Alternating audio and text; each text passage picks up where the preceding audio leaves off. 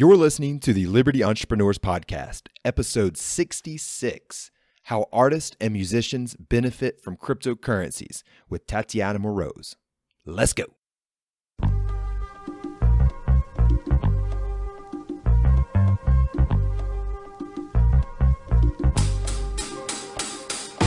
Hey, what's up? Welcome back, everyone, to Liberty Entrepreneurs Podcast. I'm your host, Ash, and today's show is all about the music. While I don't consider myself a musician currently, I do have a very high appreciation for the arts and music and was a percussionist at various times in my life in concerts, symphonic, and marching bands. And I've even organized and run a few drum circles in Raleigh, North Carolina and Denver, Colorado. So, today's guest is Tatiana Moroz. She's a singer and songwriter and a Bitcoin activist. I invited Tatiana on the show to tell us all about her new project, Artist Coin Tatiana Coin, which integrates music and cryptocurrencies so that artists retain control of their music and have the ability to directly engage with their audience. Basically, she thinks it's in the musician's best interest to cut out the middlemen or the record labels. Also, if you enjoy these podcasts, please leave us a rating. I know, I know, what good is one more rating, right? Well, it means a lot. And I've included the full show notes as well as all the links to your favorite podcast sites Stitcher, iTunes, TuneIn Radio, etc., so that you can easily leave Liberty Entrepreneurs some five star love. You can find all the show notes to this episode on our website, www.libertyentrepreneurs.com forward slash Tatiana. And that's spelled T A T I A N A. All right, without further ado, let's get right into the show. So, Tatiana, welcome to Liberty Entrepreneurs. Thank you so much for having me. I'm happy to be here. So, Tatiana is a singer and songwriter, a Bitcoin enthusiast. She's releasing a new EP called Keep the Faith. And just a little background I met you, I think, Tatiana, in December of 2013 in Buenos Aires, Argentina, at the first uh, Latin American Bitcoin conference. I, would never heard of you before, but then you got on stage and sang a few Bitcoin songs, and I even think maybe a Bob Dylan song or something like that. Uh, you were at that conference, weren't you? Oh yeah, that's actually one of my absolute favorite conferences of all Bitcoin time. Um, that's when I debuted the Bitcoin Jingle, which was a song that I wrote uh, for the community and to help kind of get the word out about Bitcoin to people like myself who didn't necessarily understand it, but I thought maybe I could teach them through music. Uh, so it was a it was actually a really big deal to sing to my first really big group of Bitcoiners. Um, I'd done a slightly smaller gig in Atlanta a few uh, like a few months before with Jeffrey Tucker, but Buenos Aires, you can't beat it. The price was good, and all the people were amazing. It was during the first bubble. It was when Bitcoin hit a thousand for the first time. It, it was really awesome. So, Tatiana, just give us a little background of who you are and what you're passionate about. Uh, sure, of course. Um, well, this is Liberty Entrepreneurs. I'm passionate about entrepreneurship, although I didn't really know that all my life. And of course, Liberty. Ever since I was a little girl, I had a great interest in, you know, how we could organize mankind in a way that would be the best for everyone.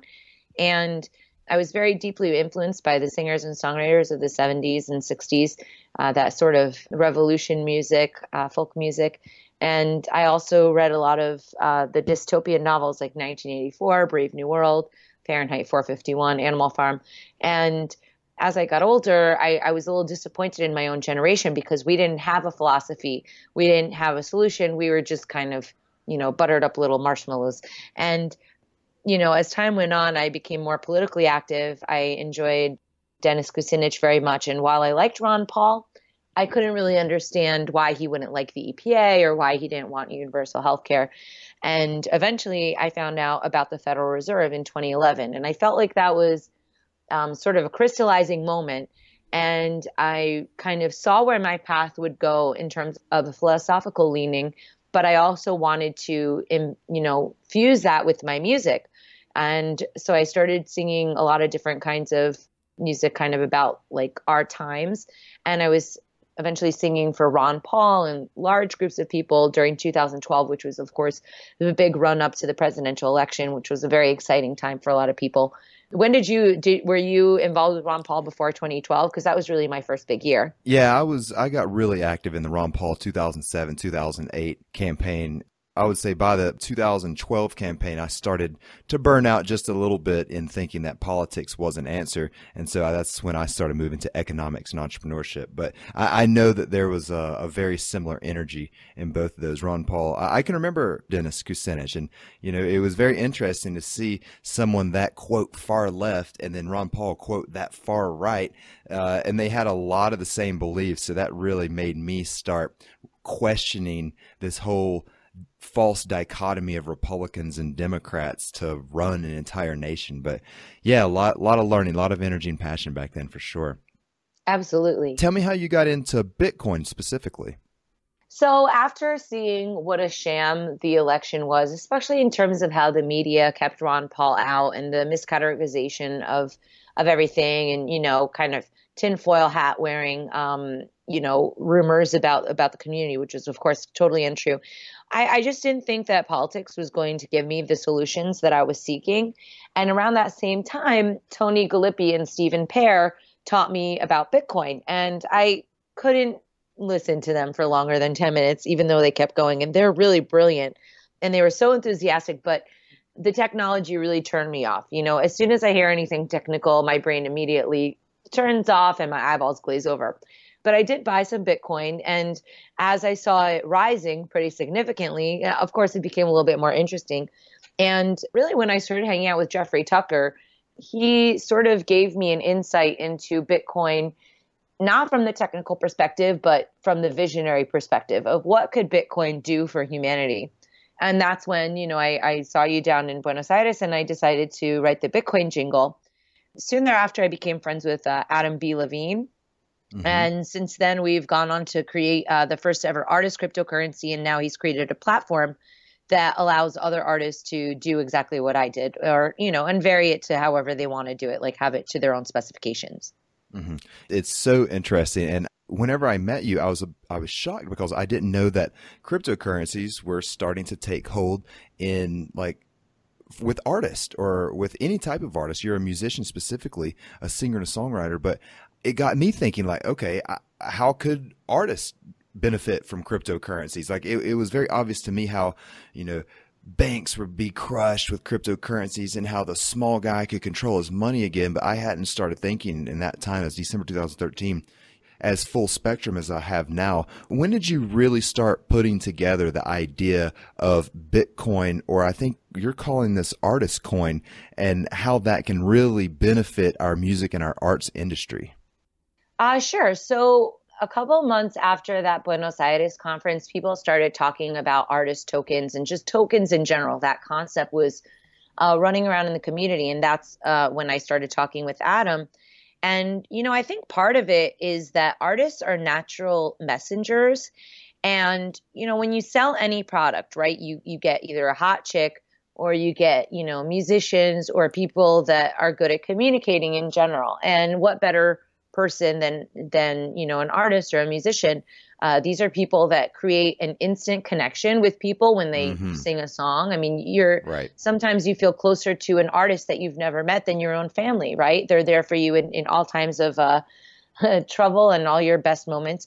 So I thought that artists could use some disruption in our space. You know, I went to Berklee College of Music in Boston and I studied music business. and I went on to work in various recording studios in Manhattan but seeing a lot of different problems for artists, namely fans and funding, right? So, how do I make sure that I play to more than just the waitress and the bartender? And how do I make sure that I can afford to record music and kind of get my music out there, which is very, very challenging, even for somebody who, you know, went to this good school, whatever. It's just really, really difficult business. And after working in all these different recording studios, and seeing the messages that were going out there. So the artists that were getting funded basically had what I consider to be a rather base message. You know, um, oh, party all night. I mean, essentially, that's like the to- whole message: party and like be an idiot. Mm-hmm. And for somebody who listened to Cat Stevens and Bob Dylan, I mean, this is not, you know, going to be congruous with where I think humanity needs to go. I think art feeds the soul. So, uh, getting back to it, we had social media, and I felt that that was really helpful. But if you signed up for Friendster, you made your fr- fans there, and then you went to MySpace and you made your fans there. And then you would go to Facebook. Of course, you have to rebuild your entire fan base. And as Facebook developed, you started to have to pay to reach your very own fans. And I thought that this was kind of antithetical to the point of social media, especially when they started manipulating posts and um, kind of, you know, I think that, you know, when a fan signs up and they like a page, they want to know about what's going on. They don't want that to be filtered by whether or not I could pay Facebook $20 so I could reach 200 people right. or 2,000 people, whatever it is. So I really wanted to have that direct fan and artist connection. Yeah, and it seems like you're taking out the middleman as well. You know, you're trying to give the artist more power and control over what they create without having to have a, record label or something telling them who they need to be or what type of art they need to have on their album cover or how many songs they need or what the length should be or if it's too political or not political enough. And it seems like what Tatiana coin and artist coin and just cryptocurrencies and social all this decentralization. I now I know that Facebook is not a decentralized network, but it allows us to connect with each other much more easily. But it seems like if artists were finally able to control really getting paid and not have to depend on someone else to approve of their image, if you will, in order to transact and sell their records and sell their stuff, then it would give them so much more freedom as an artist to really go back to their roots and create what they want and what they find valuable and what's speaking from their soul rather than maybe what the radio wants to hear. Yeah, I mean, you you hit the nail on the head. I mean, uh, this really gets to the to the crux of it, which is free speech and free the art, right? That's one of my hashtags, free the art. Because I think the art was hijacked by the music industry. And the thing is, is that record labels provide a very valuable service. You know, to make a really big career, you do need more than just one person. And a lot of times artists aren't good at business. But the main thing that makes record labels so powerful and sort of elitist is the fact that they're giving you a loan, right? They're making an investment in you, but they want a return on that. And so they have an investment, or rather, an incentive to make sure that your music is palpable to the most people possible. And when you're experimenting with art, sometimes you have some hits, some misses, and that's how, you know, you make something genuine. So they can't really take on that risk. And with artist coins what you're doing is is you're kind of building on the idea of a crowdfunding platform or a patreon but instead of giving people a fixed prize you're giving them a lot more flexibility for their investment.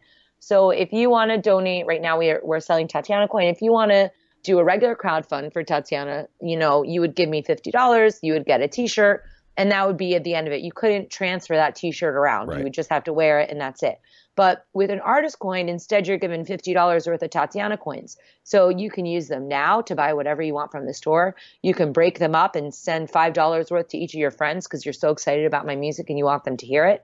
Or you can sell it later on. You say, oh, I don't know, I never use this. And there's actual transferability there. Yeah, it's a really interesting idea because people give money to things like Kickstarters and stuff like that all the time. And why not have a coin with an artist? So like, hey, I'm going to release this album. Right. It's like a crowdsource funding type thing. You know, I'll send you a copy of the album if you do donate $50 beforehand. You know, I'm trying to determine what the demand is for this type of music and you award them $50 worth of Tatiana coin. I, I don't know how much that is. I mean, I assume that you would have a Bitcoin peg or something like that. But we'll just sure. we'll just ignore that. But then what I can do is maybe one of your singles would take I don't know three Tatiana coins on your website, and so not only now do I get the full album and maybe a T-shirt for my fifty dollar donation to you, but I can send that $50 worth of Tatiana coin to 10 of my friends and they can come to your website and basically do a kind of like a micro payment to get your album for free with the Tatiana coin that they've been given. It's it's a really great way to make music even more social than it is by offering a coin that is redeemable in your own store. That's that's really innovative. Thank you. Well, you know, that was really what it was about to me is that connection. And I don't want, you know, I don't want Facebook in between me and you, right? Because we just don't need that anymore. And I find those kinds of companies to be, you know, I mean, I use them, but the privacy aspects are pretty poor and i don't think of it as something that is benefiting the community as much as something that's taking. You know we're the product there.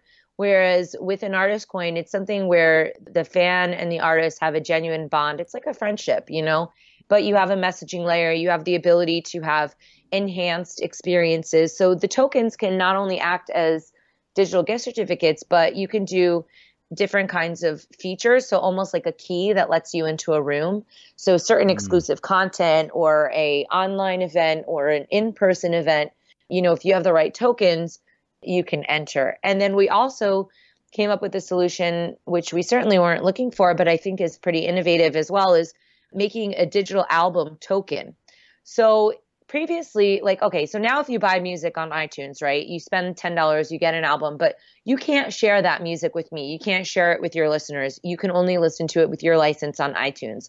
And that's mm-hmm. not as flexible as it used to be where you know if you bought a cd you can lend it to your friend you could sell it whatever. You actually own that sure. thing right? You can listen to it on multiple platforms. Yeah so with the album token we've brought back digital scarcity into an industry that's basically been turned into, you know, a mass consumption library where it's basically difficult to even find your way around there unless you know what you're looking for or you have time on your hands. This has a little bit more of a curation element. This is a more sincere um, fan support network. And when people are streaming music, the artist is getting two cents a stream, whereas on a streaming platform, a traditional one, they're getting 0.001 or whatever it is cents per stream. So basically, we're 20 times more. Um, I was really surprised when I found out that on those streaming platforms, if you have your song played a million times, you get a thousand dollars. Oh my goodness, that is ridiculous. And and with ours, you'd get twenty grand, which still it's crazy. You know, a million times somebody plays your song and you get a thousand bucks. Come on, that's ridiculous. Nobody's going to be able to record their music that way. I've got a lot of time, Tatiana. I'm just going to go click play, play, play, play, play, and all your stuff. Thank you. You know, it's it, it reminds me of Uber and an Airbnb and all of the sharing economy stuff that is is really starting to come to the forefront as technology advances because I can remember I was I was one of the first people on Napster. I was one of the first people in the world sharing uh, music on Napster back in 1999, and I can remember thinking like there was instant community there. You you were able to not only in the real world were you able to share your CDs and everybody did it. We shared tapes, we shared CDs. I mean, who didn't buy a really awesome CD like the Green Day Dookie CD and give it to one of their friends, man, like you've got to hear this CD, right? Then all of a sudden we have this amazing platform called the internet that we're able to now share music. But instead of being innovative like what you're doing with Tatiana Coin and allowing people to basically unlock music and share music that they can unlock, rather than rather than looking at innovative ways to help people use this new platform that's the internet to share music. They tried to just shut it down shut it down shut it down. But the the market was saying no we want to share music. Figure out a way to allow us to share music because we want that community.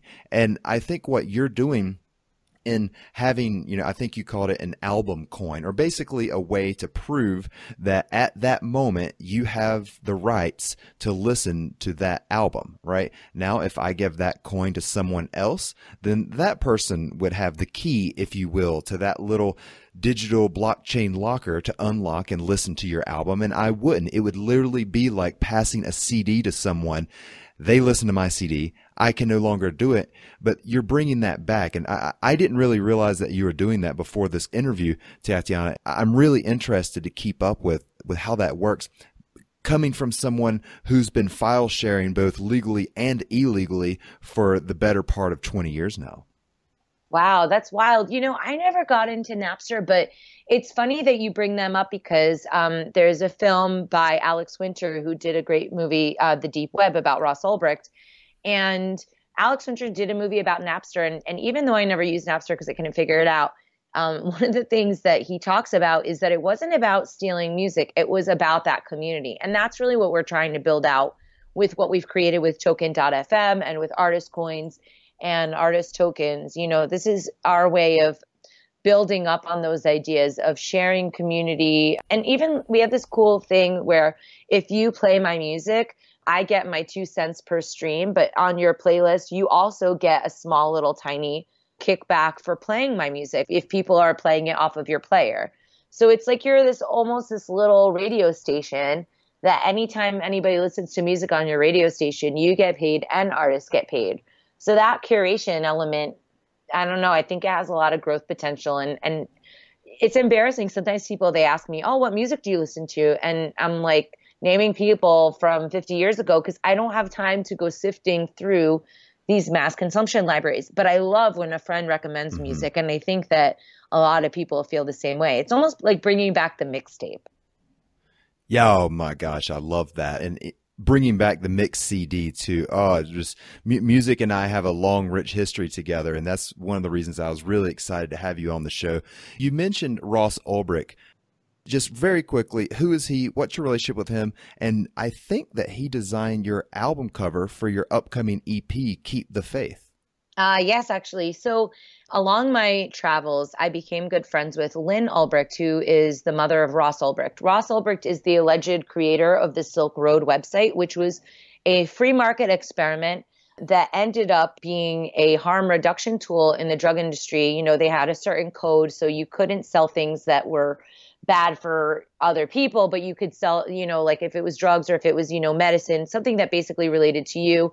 The the philosophy was you own your body, you have the right to put into it whatever you want as long as you're not hurting somebody else. Right, very strong, no child pornography, no like really dirty stuff. They didn't accept you were really ostracized and kicked off there if you broke the moral code of the website. I, I was never actually on it. I've done a lot of reading about it, but yeah, yeah. Sorry, go continue, Tatiana. Well, I think that that's good to point out because this story has been so uh, misrepresented in the media, and people think, oh, you know, you could murder for hire and guns and all this nonsense. They actually didn't really sell that there. Um, it was very against the code. These were very peaceful people that were really libertarians and, and searching for a more free world, whether or not they were libertarian.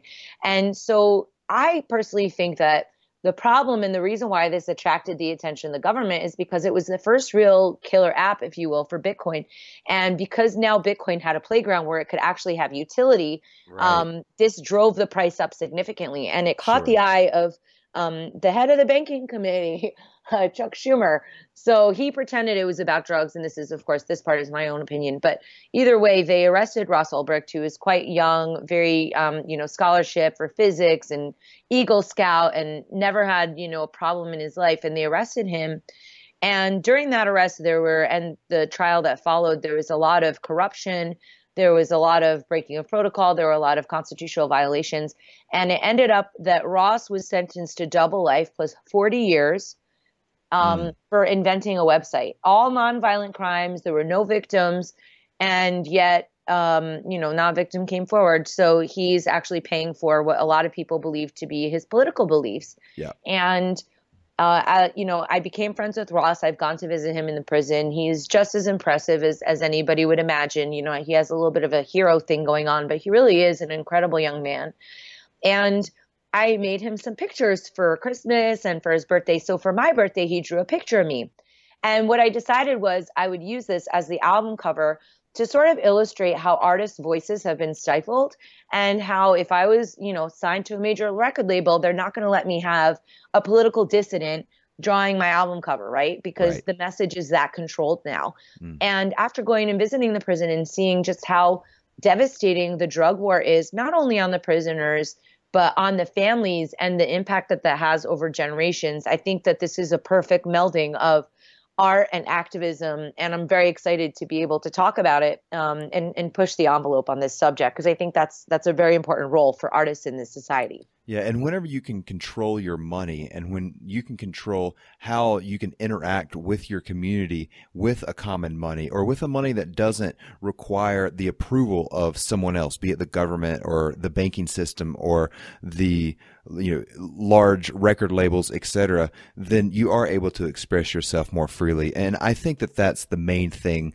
that i'm taking away from this interview tatiana is because of the decentralized nature and the the peer-to-peer nature of cryptocurrencies it puts you in control of what you want to produce and how you want to connect, express yourself, and build your community. And it's just a really beautiful thing to finally give just people in general, but artists just as much or more so that freedom again. And you know, I'd like to I'd like to start wrapping up here, Tatiana, and go into what I consider the freedom segment.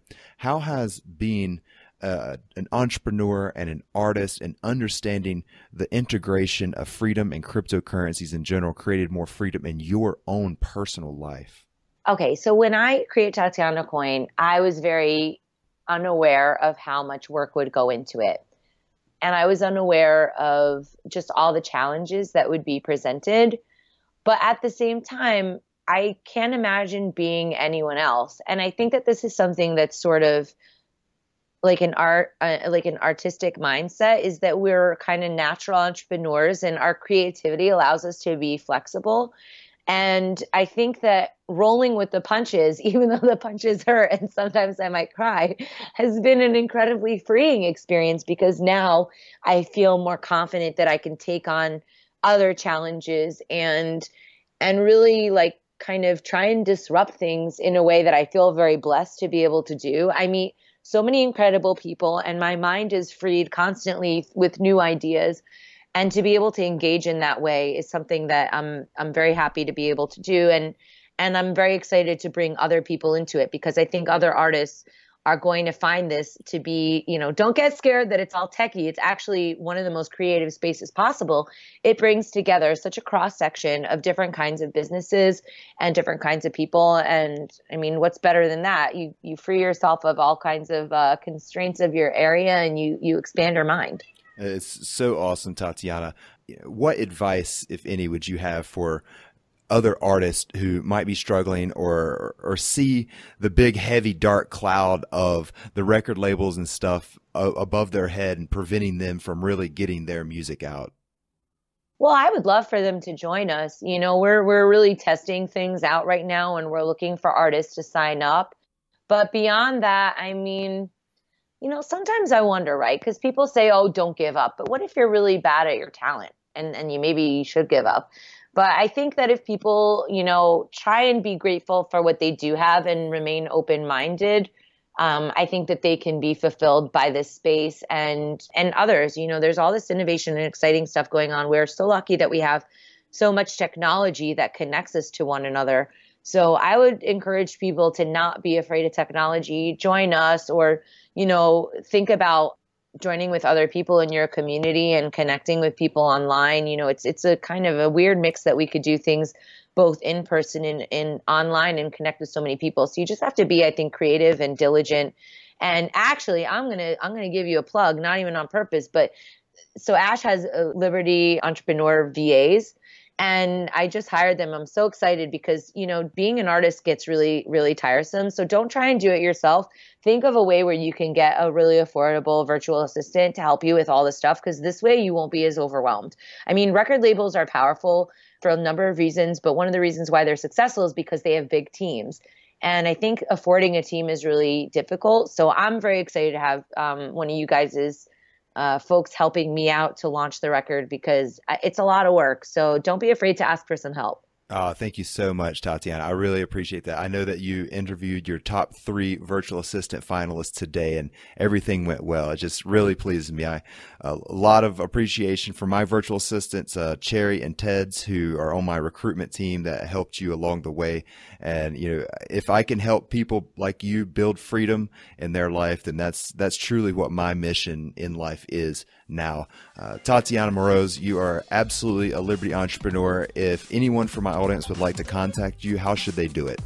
Uh, they can go to my website, tatianacoin.com, T A T I A N A coin.com. They can go to token.fm and find out more about the platform. And I'm um, on Twitter, Queen Tatiana. And I've also got a podcast the Tatiana Show that airs on a number of different um, sites, so they can uh, look that up as well. And when is your new EP, Keep the Faith, released? Oh, of course, I should mention that. Uh, March 31st is the new EP, uh, Keep the Faith, and I would love it if people would support me and uh, get your Tatiana coin at the site. And you know, you don't have to use Bitcoin or anything if people aren't onboarded into Bitcoin yet, but hopefully they will be soon. And what's the site they can go to to find directly about Keep the Faith? Uh, right on my website, tatianacoin.com. Awesome, Tatiana. Thank you so much for coming on Liberty Entrepreneurs. I really appreciate what you're building. Thanks so much, Ash. All right. Thank you. Thanks again, everyone, for listening to Liberty Entrepreneurs, episode 66 How Artists and Musicians Benefit from Cryptocurrencies with Tatiana Moroz. Also, don't forget about her new EP, Keep the Faith, being released in just a few short days. Her website is tatianacoin.com. And for more information, check it out. All the links are in the show notes. Until next time, keep building freedom.